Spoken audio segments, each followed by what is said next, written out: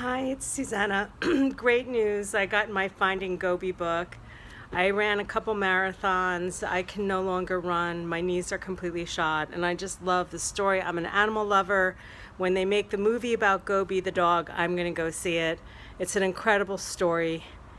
Gobi is named after the desert where uh, we'll call it a love story between a human and a dog. They find each other, ultra run. It's incredible. I want to see it the big news, and it just made me um, almost cry. It's so emotional. Is that a 70 year old elephant, Guraj? I don't know if that's how his name, G U R A J, was rescued. Um, 70 years, his life. When you take an elephant from the wild for whatever reason, they've been tortured into submission.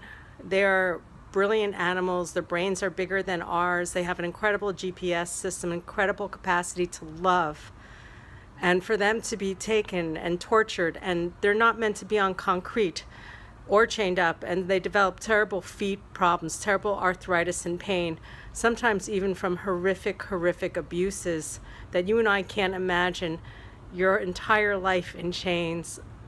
Um, hit beaten his tusks they cut off the tips on both of them for whatever reason. So he is now free.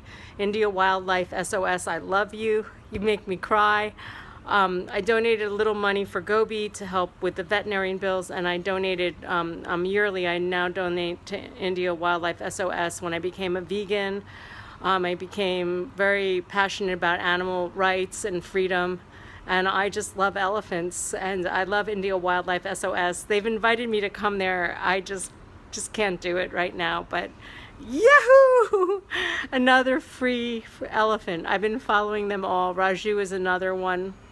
Um, just I'm just so glad that they're free. They've suffered way too much.